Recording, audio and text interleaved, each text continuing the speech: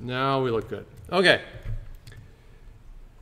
Let's start with this activity real quick, just to make sure we're all on the same page. So all you got to do is write a function, make it a function that returns true if the value you give it is negative and false otherwise. So the function is just called isNegative. And if the value you give it is negative, it'll return true. Otherwise, return false. That's all. The problem's simple, but maybe coming up with a solution is not.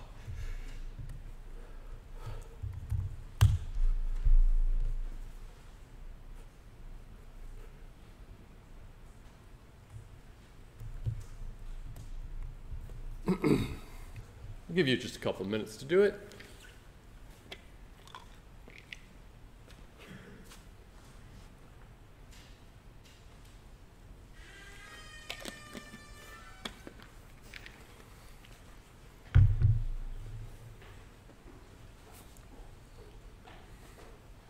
Let me just.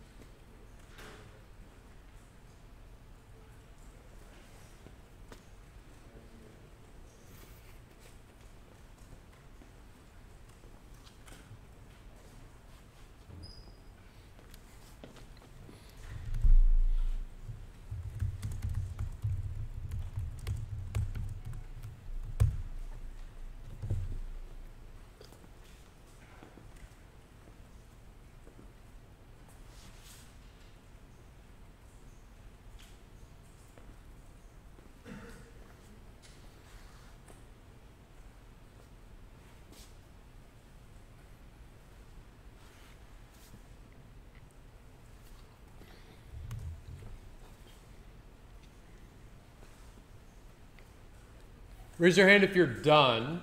Raise your hand if you just give me like one more minute. All right, cool.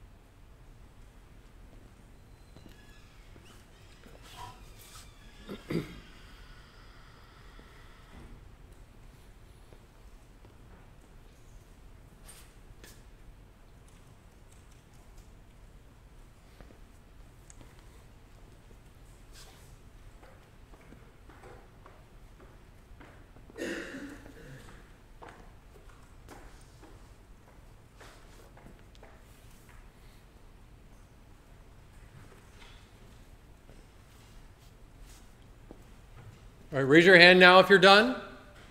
Okay, more people. That's good. So, I mean, keep working on it, but I'll talk just a little bit about this. And just to really take a second and emphasize remember before earlier in the semester, I was always saying, like, this course content is very accumulative. If you don't get what you're doing yesterday, you're going to be in trouble today and especially tomorrow. And I mean, even with this little activity, think about what we're including here. We're including a function. We're checking a condition with booleans, which we only just recently learned about. We're using an if statement. You know, we've got those conditions there that we're using with the boolean. And we're also like returning something from that function. There's a lot going on. So, one, hopefully this demonstrates how quickly all these things kind of build together. And two, you kind of get a sense of how much you've already learned already in, in three weeks. Three weeks and whatever this lecture is, the first five, ten minutes of your fourth week. Figure, we're like a quarter of the way done the semester already, right? So, there are a bunch of ways we could do this. But, you know, maybe the most obvious is if, well, if n is less than 0, return true, else. Raise your hand if you wrote that basically exactly, more or less exactly. Yeah. I mean, and the logic checks out pretty good. Okay, we got the function definition is negative, but remember, this is only the definition of the function. I can hit run a billion times and nothing's going to happen here. Run, run, run. Nothing's happening. Nothing happens until I call it. Remember, there's, okay, was it equals is negative 66. This is the definition of the function. This is like grade whatever math where you say f of x equals x plus 1. You just defined it. But down there on line 7, I'm actually calling it. I'm now saying, okay, go evaluate your f of x where x is 66. So f of 66. It's the same idea here. Don't overthink it. So we defined it, we called it, and you know, it's good to test it. False, that makes sense. Zero. Can anyone think of another edge case we might want to check? And when I use the word edge case, I mean like a peculiar value that might throw it off or something, I don't know. Zero, that's a good idea. Let's see what happens when we put in zero. False. Because zero isn't negative, right? So I guess that's fine. So there we go.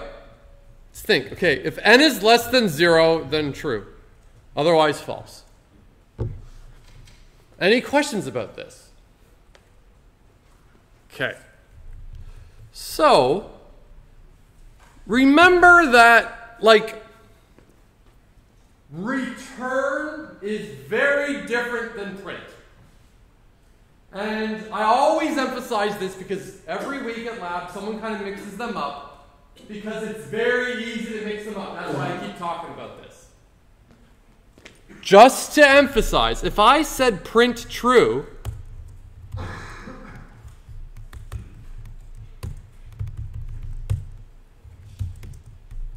and that's and I run this, great, but I get this none nonsense down here. And that's because we printed out true or false, but this function didn't return anything. It returned none. So, was it is assign the value none, and then we print out none, which is just none. So just be very, just always be keeping in the back of your mind wait, do I want this function to give me back something that I can do with it later? Or do I want this function to just print something out and then carry on? Because that's how you'll kind of know. If you mess this up, you're going to mess it up probably a little bit more as soon as you just get a little bit more comfortable with it. But the important thing right now is go like, wait, okay, it's not doing what I'm supposed to do. Oh, I did print, so maybe I should do return. Just if your mind goes there, you're in good shape. Okay. Now, we could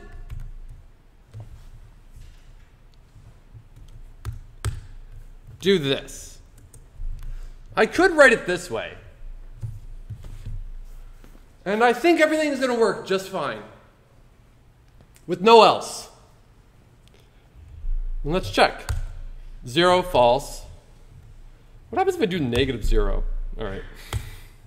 Negative 10, true. 10, false. Huh. It works. But raise your hand if you're, if you're thinking, though, like, I don't like that. A couple people. So here's why it works. And I'll say just because it does work doesn't mean that this is necessarily a good way to do it. Because when you see the if and the else, it's very obvious what's happening. Here, perhaps a little less obvious.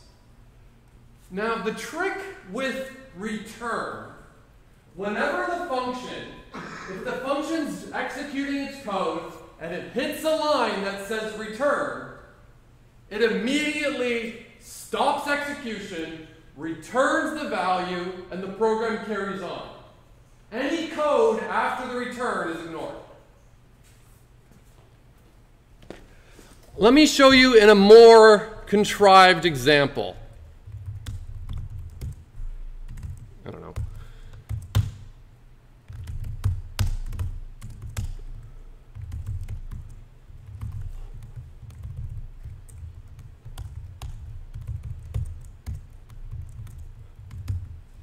And then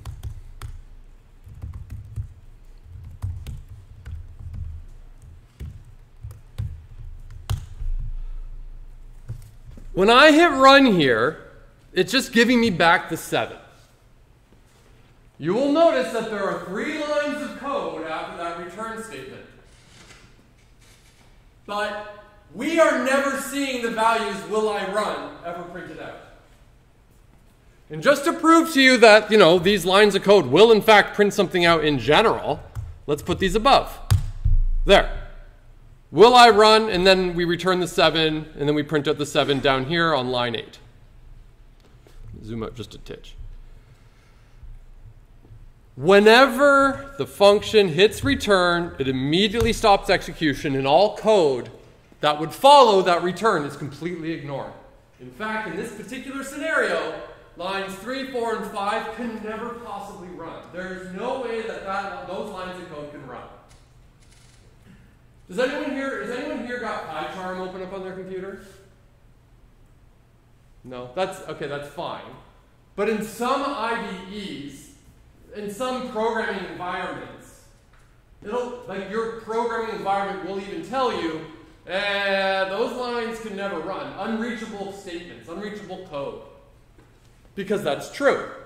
So what I wrote there is rather silly because the, like Python can never execute that code. As soon as it hits a return, it stops execution. So if we go back to this example, I'm just going to delete all this. The reason this is fine is because, okay, let me pause on that.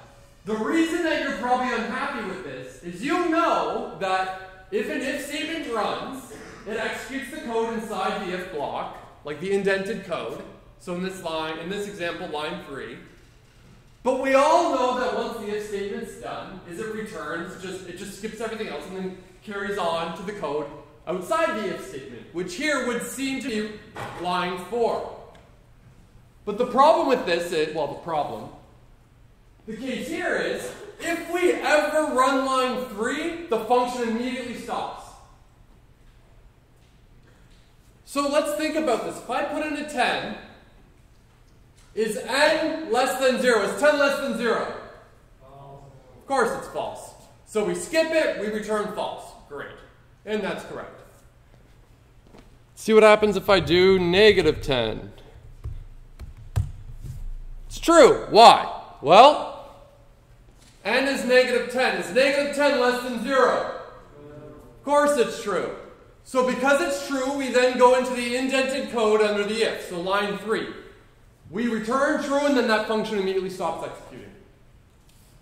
Any other code that could be in that function is completely ignored in this scenario, and it just, it, we just jump down to line 6 once it gets assigned the value true, and then we print out true on line 7. So that's why in this scenario, the way I've written it, it'll work just fine. But what's clearer, this or this? The first one, right? This one? It's it's more explicit. You might say, ah, but it's an extra line of code. Who cares? A line of code. If this was 1960, you'd have an argument. Now, whatever. I mean, I'm running this code on Google server somewhere, so I don't care. Doesn't even affect me. So in this case, it's very clear. The code is very descriptive. It just, if it's that true, otherwise false. It's fairly straightforward. So the alternative, it'll work, but just because it'll work and just because it's less lines of code doesn't mean that it's necessarily easier to understand. All right, so now, real quick, I'll have you do this activity. And remember the trick here for checking if a number is divisible is we use that percent sign, that modulo. Modulus, whatever you want to call it. And then if the result of that, if the remainder is zero, then you know the number is evenly divisible. So I'll give you a couple moments to work on this activity. And it's a little longer, so I'll give you a couple minutes here. It's not a race, take your time. And remember, you are entirely encouraged to talk amongst yourself if you get stuck. Usually during these activities, it's, you know, it's kind of noisy in the room. I realize this year we might be trying to not talk so much, but you can talk.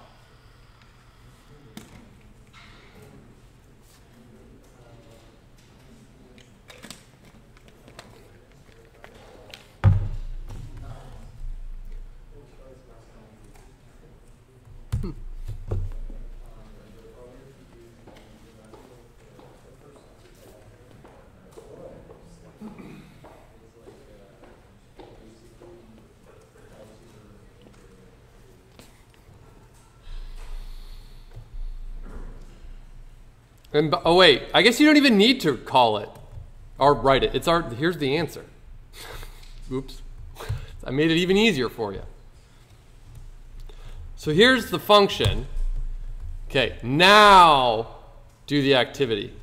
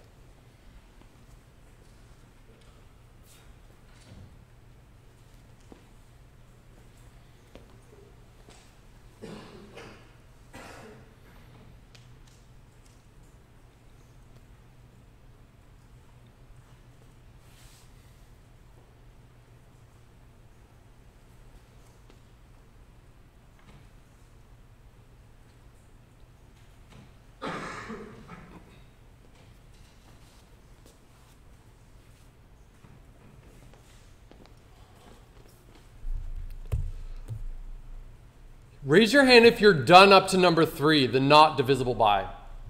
Raise your hand if you need just like one more minute to get that part done. Okay, give you a couple more seconds.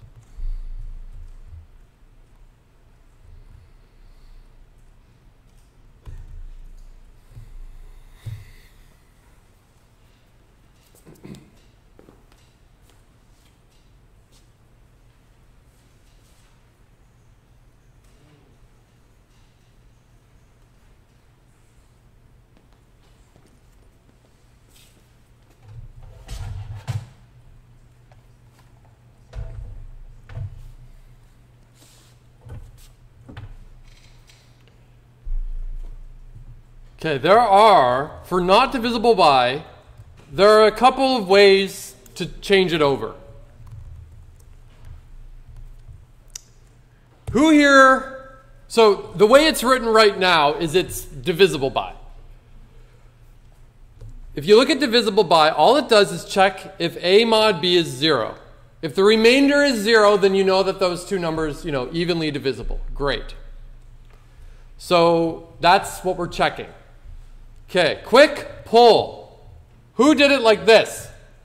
Raise your hand really high. I want to see. I want to do I want to do a vote. 1 2 3 4 5 6 7 8 9 10 11 12 Okay, 12 did I, mm, 12 or 13. I don't remember if I counted you. 14? It, when you put an exclamation point, so equals equals is checks if they're equivalent. Exclamation point equals means are they not equal. In some programming languages, you see it like this, I think. Whatever, but in Python, it's that. Okay. Did anyone do it like this? Raise your hand if you did it this way. Really high, I want to count. One, two, three, four. All right. But this will work, right? Because it asks the question okay, are those numbers evenly divisible? Yes or no? Then not that. That's all it's doing. And the last one I can think of is this. Raise your hand if you did it this way. Really high, really high, really high. I think this one may have won. 1, 2, 3, 4, 5, 6, 7, 8, 9, 10, 11, 12. Yeah, you've won. All right. There are, they are all equivalent. And look, we're already we're not very far into this course, and we're already starting to see answers to that inevitable question that always comes up the first day of class of, yeah, but if there's like a correct answer, shouldn't all our code be the same? Well, look, we just saw three different ways to do the same thing, and this is this is a simple problem, checking if the numbers are divisible. It's just one little function. And we saw three different ways to do it. It may have been obvious to you to flip the true and the false. It may have been obvious to you to change the equal to not equal. It may have been obvious to you to take the, the whole question and not. Whatever, they're all fine. Is that a question? Yeah. Would it not be faster to use Boolean? Sorry? Would it not be faster to use Boolean? Would it not be faster to use bool? I'm not sure what you mean. But I, was doing the previous problems, I used Boolean instead of comparing two different problems.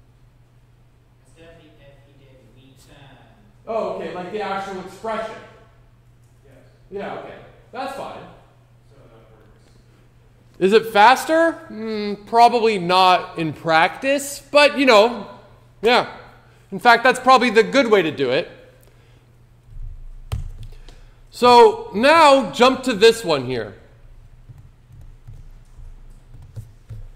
See if you can do that with only one return. And this might seem like a bit of a trick question because it's probably easier than you think. And you might even be mad if you don't get it and you see what I do and you're like, oh, yeah, okay. I'll give you just a minute for this one.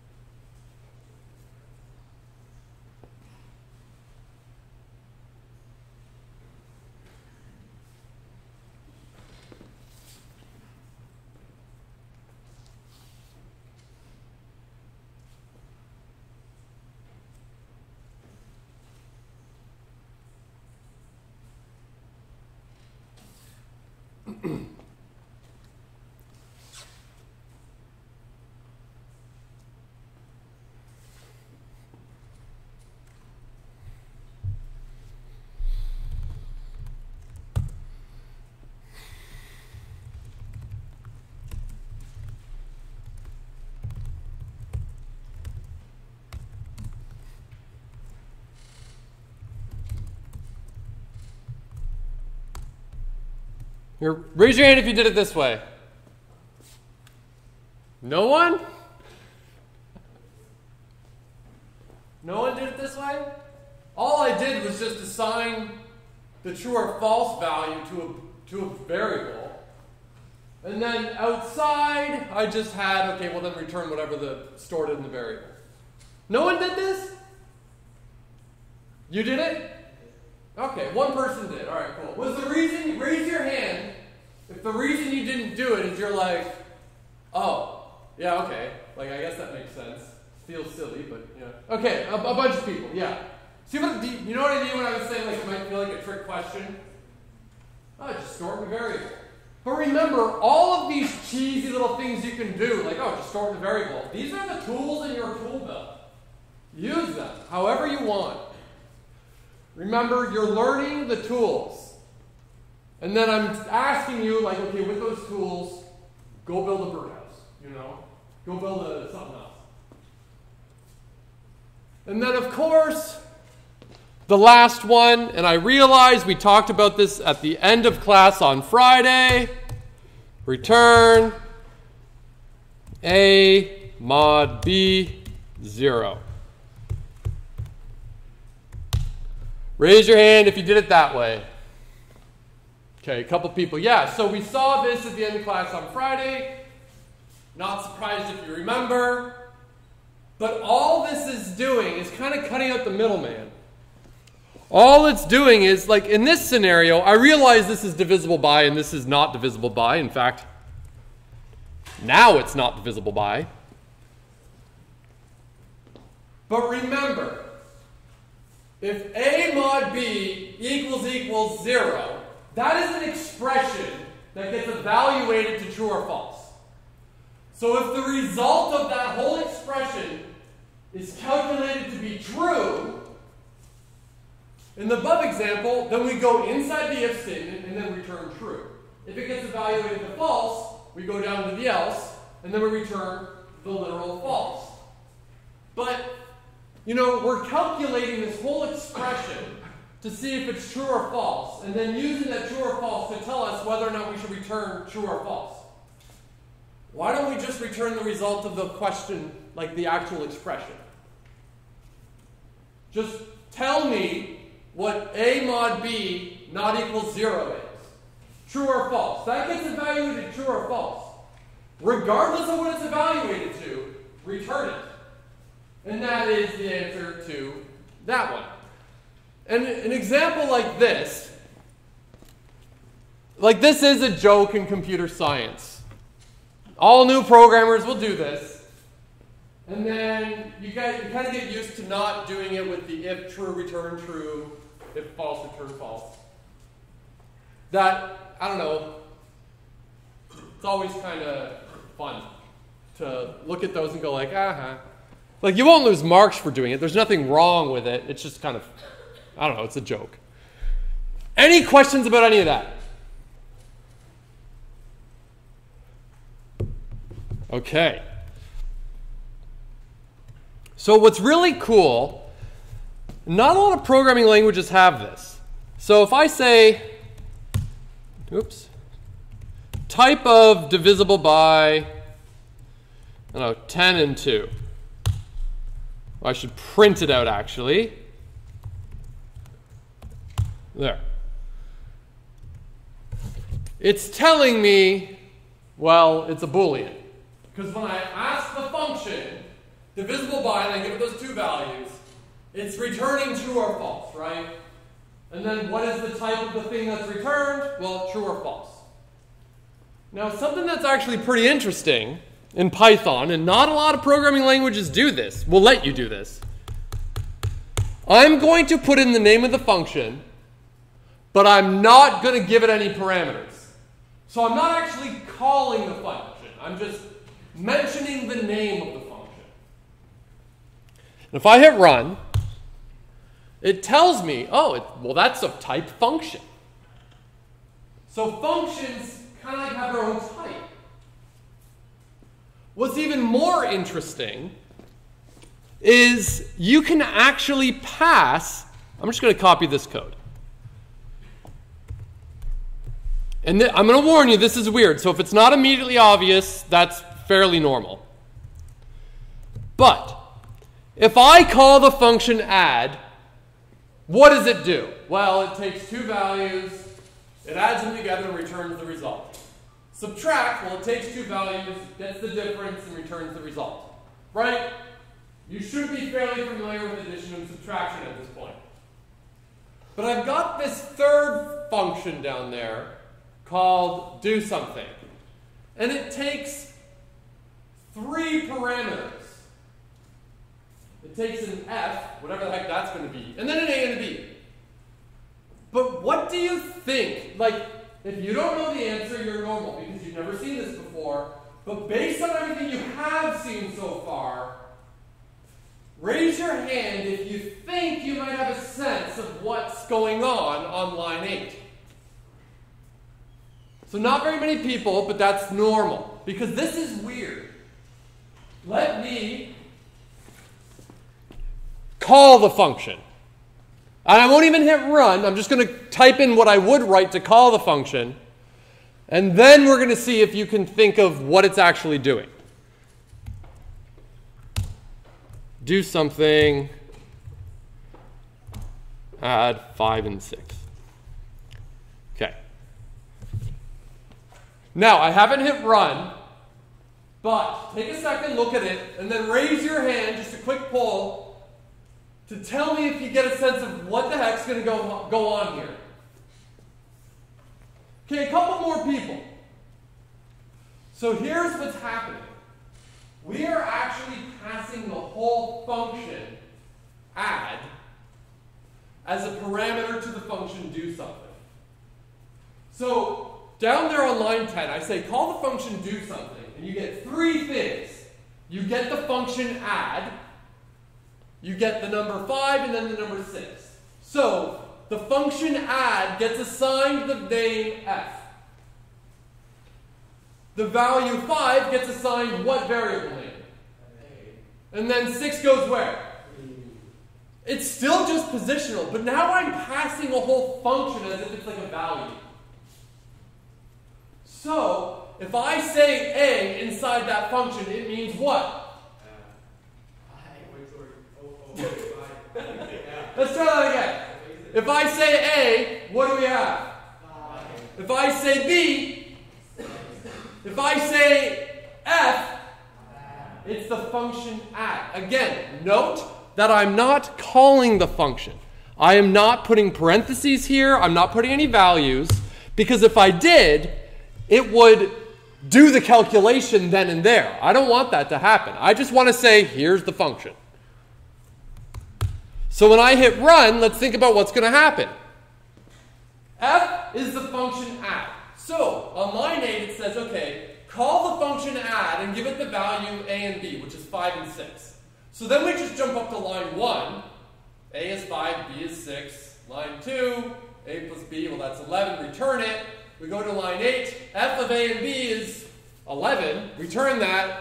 Now line 10 gets evaluated to, like, or just gives us back the value 11.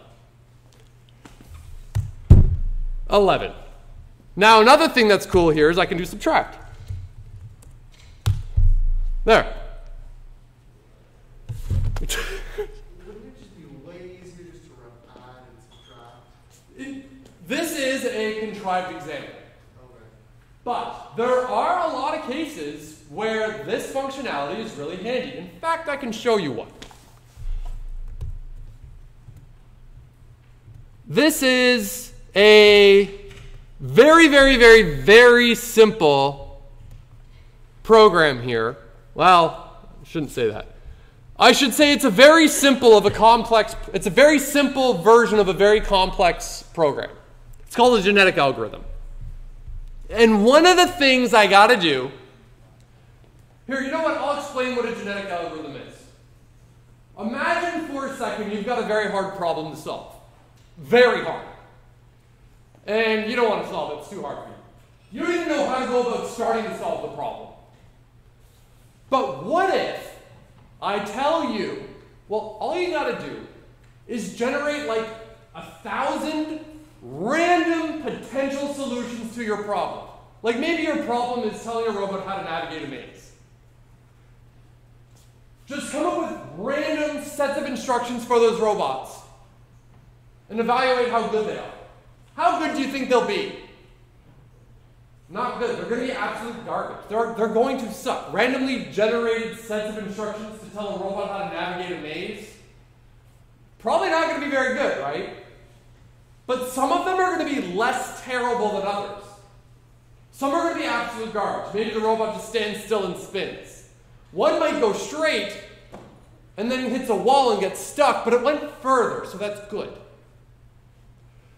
But then again, it actually begs the question what's good? Should I measure how far the robot moved as a measurement of how good it was? Maybe I should measure how far away it is from the end, from where it actually is supposed to go. Maybe that's a better goodness metric. Or maybe I should just count how many unique steps, like cells that entered in your maze. Whatever. Like, whatever the metric of goodness is, is kind of a question, right? We don't know.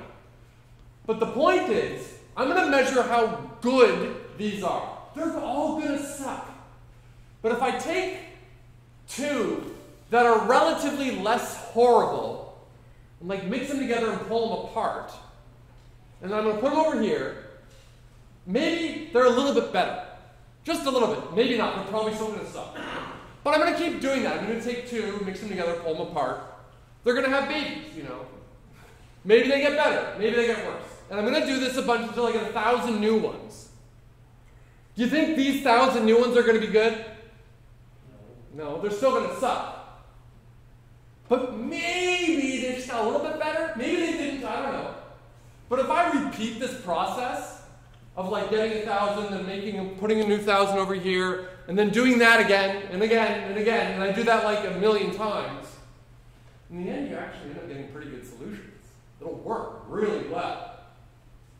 But we've got that problem of what's a good measure of goodness? What does it mean to be good in this scenario?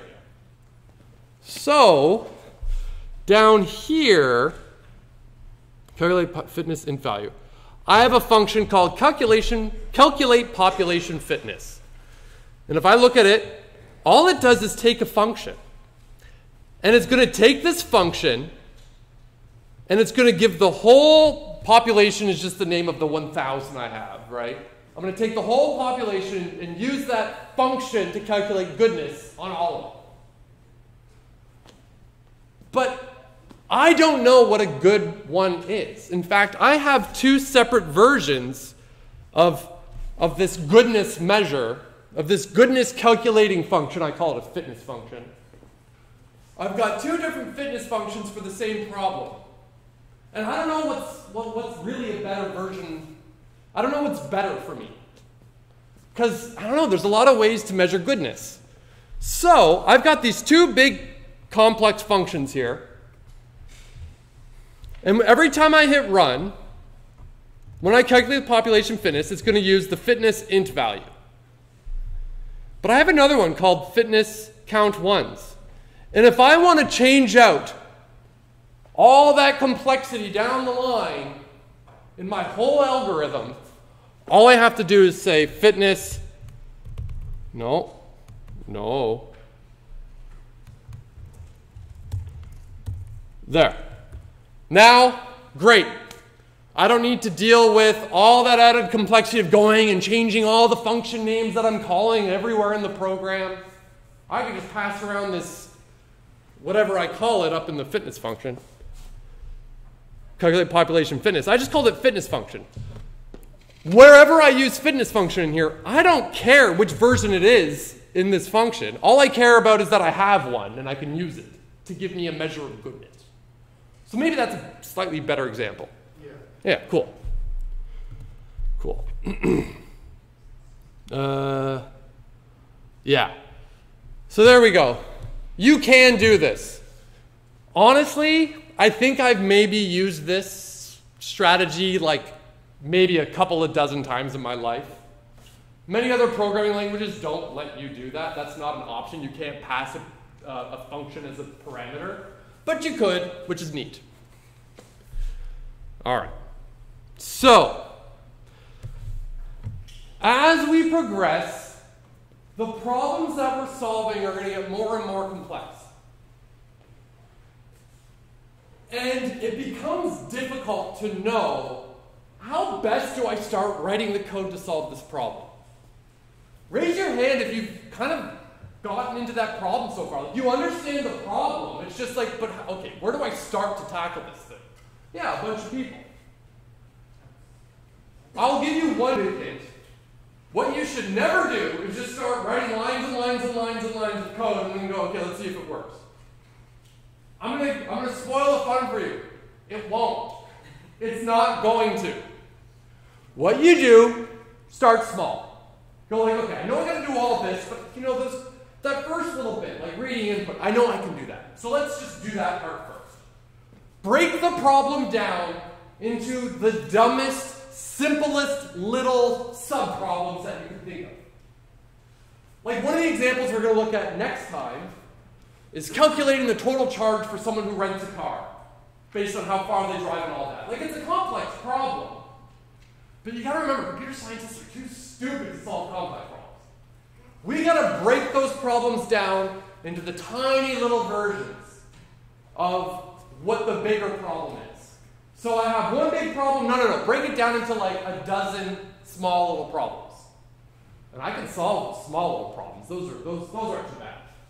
But every single time you solve or you write the code for that small little problem, make sure it's correct. Don't just write it and go like, yeah, I think it's good. And then use it somewhere else. Because imagine you wrote a function that you assume is correct, and then you write a new function. And then you're testing this function, it keeps giving you the wrong output. So you spend all this time trying to find out what's wrong with this function, when in reality it was just that function that was wrong. Imagine we had that same function called print. But whenever, I don't know, Mars is in retrograde, it kind of doesn't work correctly half the time. Right? If that was the case, and you were trying to debug your code, you're like, why is it not printing correctly? This doesn't make any sense. Well, we want to make sure all the functions we're using are correct. Because if they're not, and even worse, if they're right like 99.99% of the time, but that one more time you hit run, it gives you the wrong answer, good luck. So just be, be slow. Take your time, be meticulous, break the problems down into the small, simple, simple ones that an idiot computer scientist like me can solve. Big problems, I can't solve. Best I can do is try to break it down and then solve the little ones. Okay, so yeah, yeah, yeah. All right, cool. So raise your hand here if you know off by heart how to calculate compounding interest. Three, four people. Okay. So the funny thing here is, though, I'm willing to bet that all of you, gun to your head scenario, you could probably actually figure it out on the spot. And to me, the trick to it, the trick to coming up with it, is to don't think about the function for compounding interest as a mathematical expression. I mean, it is. But if you don't think of it that way, think of it algorithmically. Think of it as okay, like if you needed to know what 15% is to know what your sales tax is going to be, and something costs you 1093, what do you do to calculate the total amount of tax? Multiply by 1.15. Well, that'll give you the total total. And if you just do 0.15, it'll tell you just, just the tax, right? So there you go. So you know how to do that. So, okay, so you know how to do that. What if, like, you wanted to find out what 15% of that total is? What do you multiply that by? Well, let's do the 1.15 because it's just, we're just going to keep adding to it. One point one five. And then what if you wanted to know what 15% on top of that value was? Multiply it again. If any of what I'm just saying is, is blowing your mind, it shouldn't be. You're thinking too hard. If I have a value x, and I want to know what 15% more of that value x is, just do x times 1.15. That gives you a result. Just make that the new x. Repeat, repeat, repeat. Does anyone know what expression we have, what mathematical expression we have to do like multiplication some number of times? Uh, Exponent, right? Like the power of. Yeah, and that's going to be part of like the root of how to do this. The added complexity here is okay, but like what's the compounding period per year? Raise your hand if you remember. You probably learned this in like grade five, right? And then you probably never thought of it again. Raise your hand if you remember hearing at least the word compounding period. Keep your hand up if you remember what it means. Three people. Okay, that's fine. All it means, all it really means is how long does it take for us to do that additional calculation? Right? Do you get another 15% every day? Or do you have to wait a month before we do that calculation again? Or maybe a whole year before we do that calculation again? Anyways, we'll pick up here next class.